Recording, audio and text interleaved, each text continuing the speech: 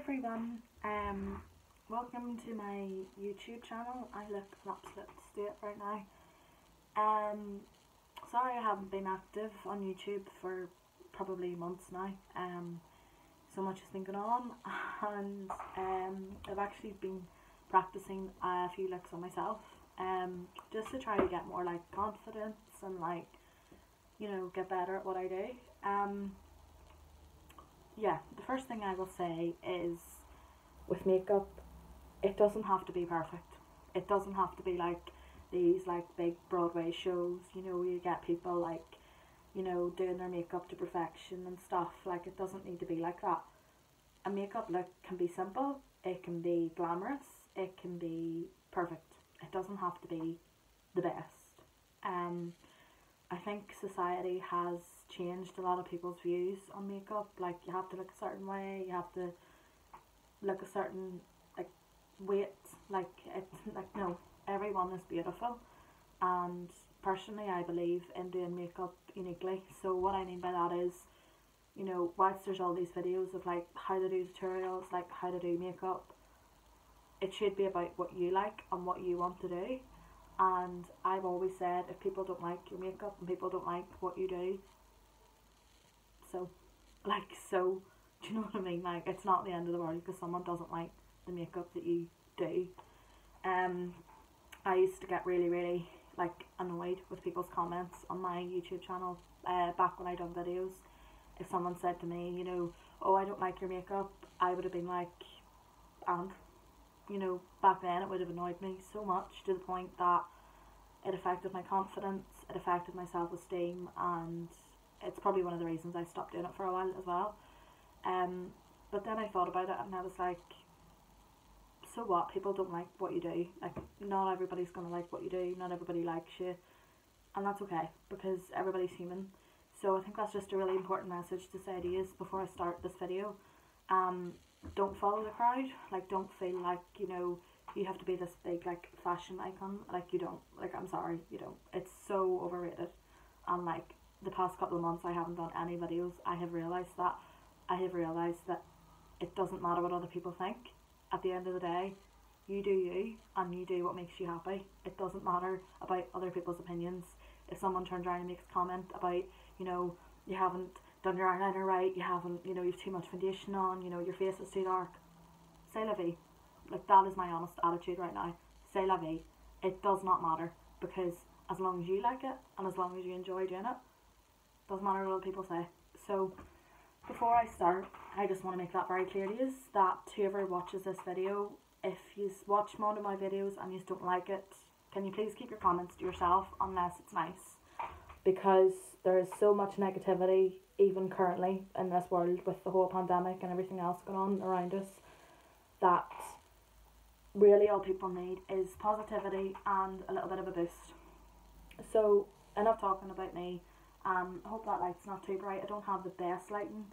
Um, I'm kind of trying to work on my own studio at the minute, like ideas to like make my videos really good. You know, like lighting, like cameras, stuff like that. Um, so yeah, I'm gonna stop talking now because this isn't a video for me to talk. This is a video for me to do my makeup. So today I'm going to be doing a simple everyday makeup look. Um, it's nothing big, it's nothing glamorous. I've actually learned how to do a cut crease on the eye um, it's not been easy. Like it's really really difficult, and even when you're doing videos, it can make it worse because you know your nerves and like, yeah, it could put you off a lot. So. I'm not going to be negative in this video. I'm going to try to be as positive as I can be, like for the sake of yous and myself. Um. So yes. So obviously I've already put my foundation on. I've really squeaky chair. Sorry. Um. Obviously I've already got my foundation on. I don't think I need to show you how to put foundation on. Um, I will show you the foundation that I have used. It's Collection and it's Lasting Perfection. I don't know if you can see that or not. Um, and this one I just bought, I think it was Superdrug. Like they have really good makeup. Um, and it's actually up to 16 hours wear. So even if like you're out for a night out, like you're guaranteed to have this on for at least 16 hours. And this is only a, one base. Like this is not two coats. This is one base of this foundation. And it's actually really good. And it's number 12 in the toffee colour. So I would like be tan. Like I would be quite swarthy in my skin. Like I'm not a pale person, so whenever I go to buy makeup, it has to be makeup that suits my skin tone. Otherwise, what's the point in buying it? You get these people that like buy like these like really stupid foundations and like they're like not even anywhere near their skin color, and it just looks really really silly. But again, person likes it. I'm not gonna judge. So because I've already put my foundation on, I'm now going to go to the next step and I'm going to do my eyebrows. Now, my eyebrows, sorry, it was glass of coke, that wasn't very professional. Um, my eyebrows are quite bushy. Um, they're quite, you know, they don't really need a lot of filling in because they're already quite defined as they are, they always have been. Um, so, for that reason, I don't intend to make them stupid looking, basically. Um, so when I'm doing my eyebrows, I actually have always got this tip, and it's actually a tip that I learned from one of the makeup videos I watched. If you're filling in your eyebrows, they should always be the colour of your hair. So for example, because my hair is black, my eyebrows should be black, um, because it looks a bit silly if you've black hair and brown eyebrows. Now again, who am I to judge? But that's my own personal opinion. Um, you'll probably all know that my videos are very personal to me. They're quite unique. Um, so I don't tend to follow the crowd. Like I watch videos, you know, for like inspiration and stuff, but I don't rely on them to make me look good. Like I would take inspiration from them and create my own looks. Um, I'm not really someone to go, oh, I like that look, I'm gonna do that today. To know that way, it's more of, okay, there's a video, there's some inspiration, I can do a look based on that look. It's not about in the crowd, guys. It's not. So I'm gonna just, without talking, I'm gonna just lightly do my eyebrows now. There is a choice. You can use um eyebrow uh, or eyeshadow for your eyebrows. Ideally, you should use an eyebrow pen, but I currently am out of those, so I need to buy that. Um, which is why I'm using literally an eyebrow palette. So it's I Wanted. It's an eyeshadow collection. It doesn't matter what eyeshadow you use. You know, you get these people that show you like, oh, I'm using like the finest eyeshadow. Like it, no, it's down to what you like. So just remember that. So without me talking, I'm just going to apply my eyebrows. As I've said, my eyebrows are quite dark already, so they don't really need to find any more. But to make them stand out and to make them go with the look that I'm going to create, it would look nice. So you can probably see, probably not due to the crap lighting that I have, um, that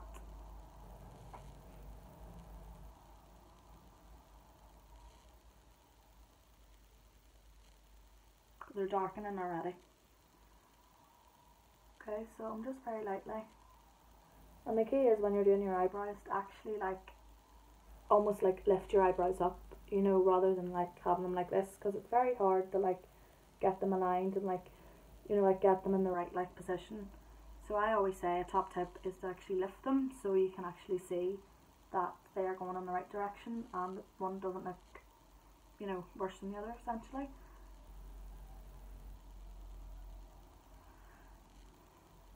So I'm just really just filling them in just to give them a bit of a defined look. Again, it's not something that you have to do, it's not something that, you know, is necessary, but it does make the look a lot nicer. Um, so because I've already got my foundation on and I've got my eyebrows more or less done, I'm now going to move on to the eyeshadow. I have about 50 palettes of eyeshadow. Like, I'm not even joking. I have this one, I have this one, I probably have like 50 somewhere else and I don't even use half of them. But the point is, so this is Pretty Please. This is just a simple eyeshadow palette. Again, doesn't matter what palette you use. It's all how you use it. So, I've got a variety of colours here. I don't know if you guys can see them or not. But it ranges from like a like a nude colour to like a brown, like a dark brown. And this is like a glitzy glam type look. You know, it's, it's everyday makeup, but it's like quite glamorous as well. So first thing I'm going to do is I'm actually going to go for like a dark brown and I'm just going to use my eyebrow pencil or my, sorry, my eyeshadow brush and I'm just going to try and get as much onto the brush as I can and then I'm just going to close my eyes and I'm going to quite carefully just apply, start applying the eyeshadow. Now bear in mind guys, this is my first video since I have decided to stop doing them months ago so I'm a little bit nervous because I have a thought, like an idea of how I want this look to turn out, and sometimes it doesn't always turn out that way, which, let's face it, can be quite disappointing. But you need to remember when you're videoing yourself, it can also be very nerve wracking, which could put you off a lot.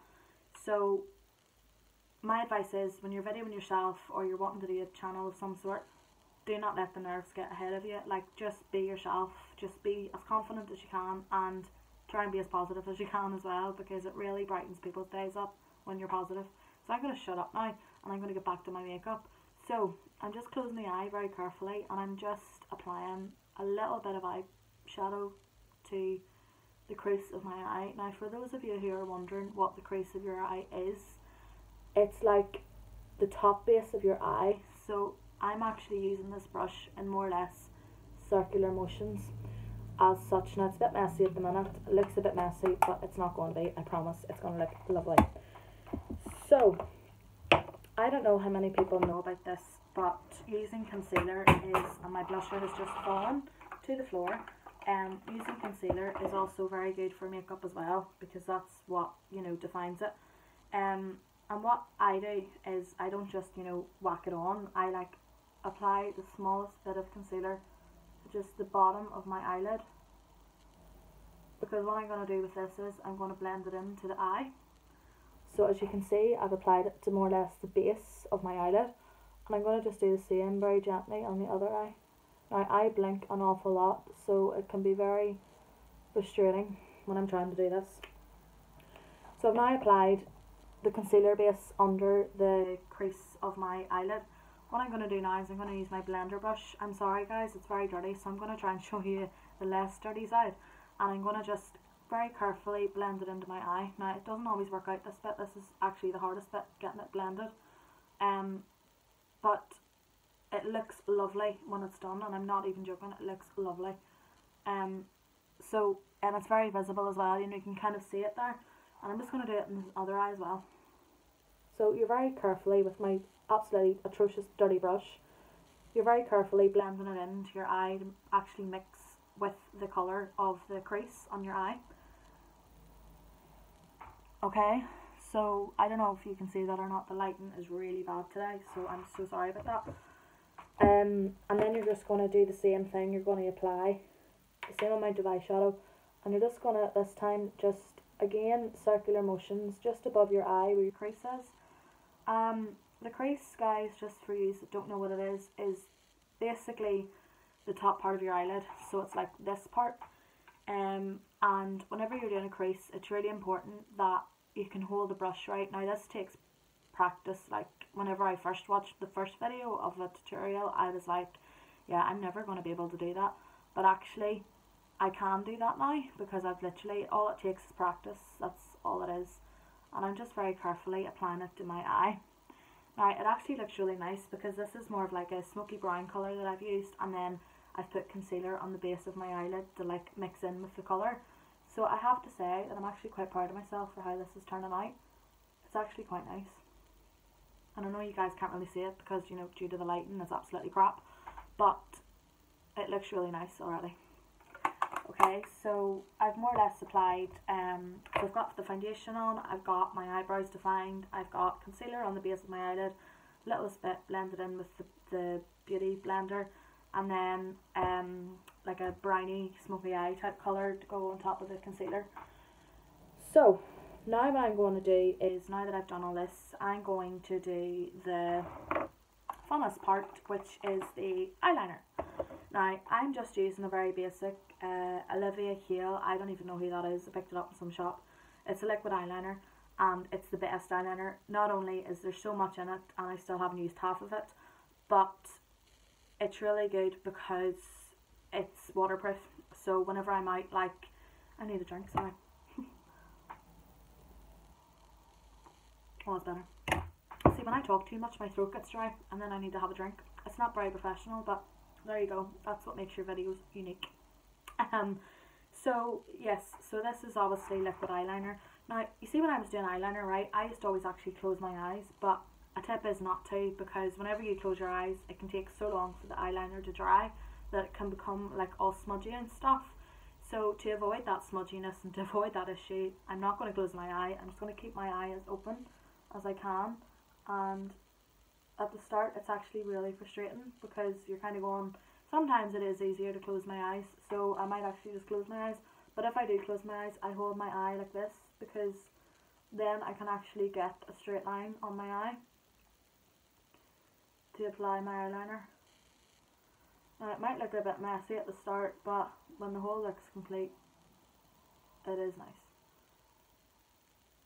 I'm just going to show you guys whenever I've done this. This is more of like a a wing eye type look.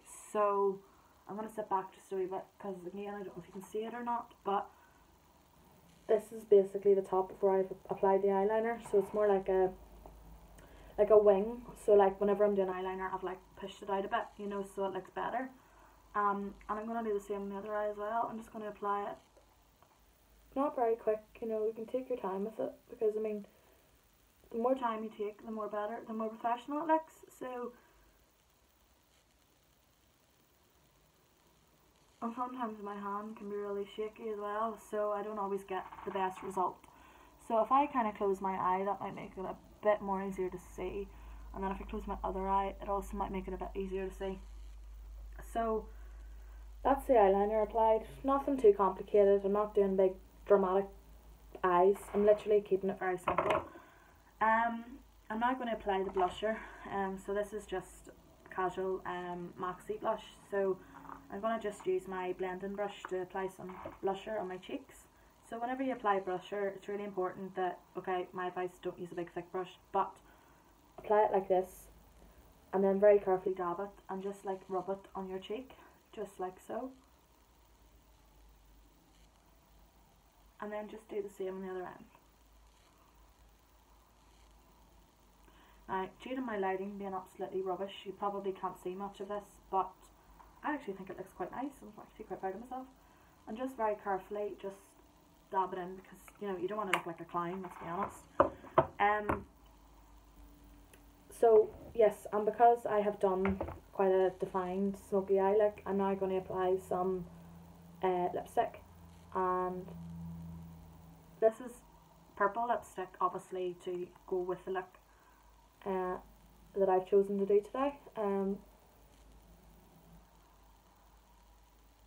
I can't believe my video is 17 minutes long already. Like, that's not even doing makeup. Like, that's just talking absolute crap for most of it.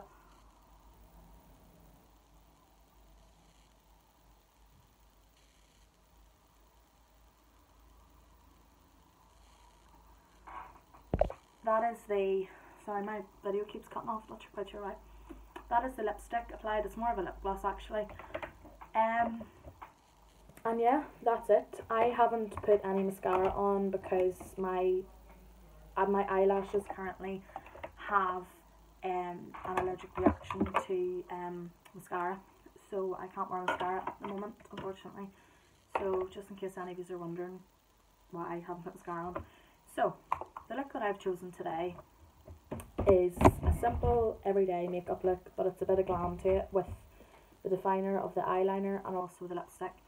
Um, if I had just done a face of makeup with a bit of mascara and a bit of uh, eyeshadow that would have been a natural everyday look but I kind of changed my mind halfway through the video and was like I actually want to add more to this because now I'm getting into it a wee bit. Um, so yeah guys I hope you enjoyed um just to like go over the products that I've used. So Lasting Perfection um everyday foundation easily picked up in any supermarket. I think this was like a tenner probably wasn't even a tenner but it's brilliant foundation um again doesn't really matter foundation that you buy but ideally it should be foundation that suits your skin tone best.